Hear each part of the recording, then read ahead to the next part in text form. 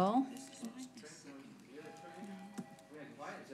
Yeah, tonight, the agenda, it's on the agenda, for first reading tonight. You go, go find it while we, I start the meeting, if you would, please. Mm-hmm.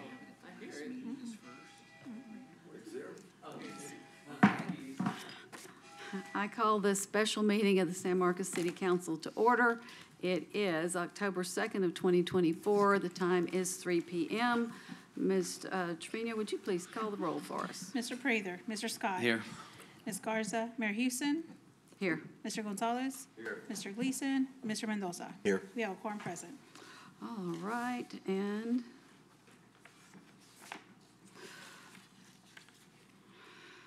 hold on, I have the wrong agenda here.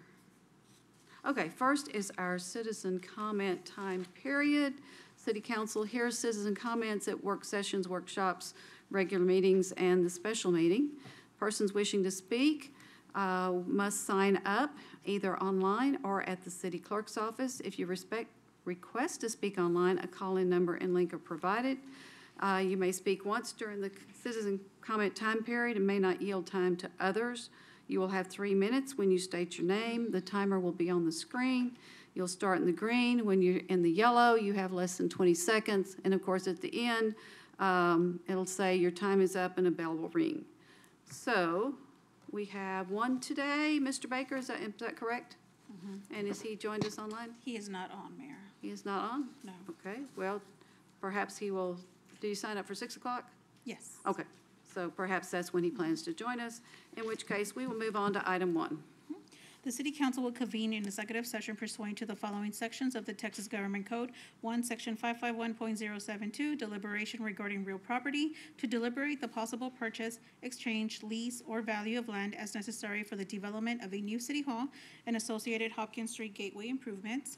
Two, section five-five-one point zero-seven-one, consultation with attorney, to receive legal advice regarding the development of a new city hall and associated Hopkins Street Gateway improvements.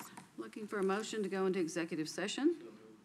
Motion by Mr. Scott, seconded by Mr. Mendoza. Mr. Trevino? Mr. Scott. Aye. Ms. Garza, Mayor Hughson, Uh, aye. Mr. Gonzalez, Mr. Gleason, Mr. Mendoza, and Mr. Prather. All right, we will go into executive session at 3:03.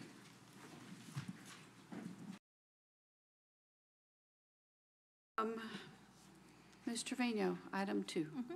Consider action by motion or provide direction to staff regarding the following executive session items deliberated under Chapter 551 of the Texas Government Code, 1, Section 551.072, deliberation regarding real property to deliberate the possible purchase, exchange, lease, or value of land as necessary for the development of a new city hall and associated Hopkins Street Gateway improvements. Number 2, Section 551.071, consultation with attorney to receive legal advice regarding the development of a new city hall and associated Hopkins Street Gateway improvements. Okay, we did go into executive session. We concluded that at 4:23, and on both items, we gave direction to staff. Ms. Trevino, do we have anybody for Q and A with present public? No, ma'am. If not, there being no further business, I will adjourn us at 4:24.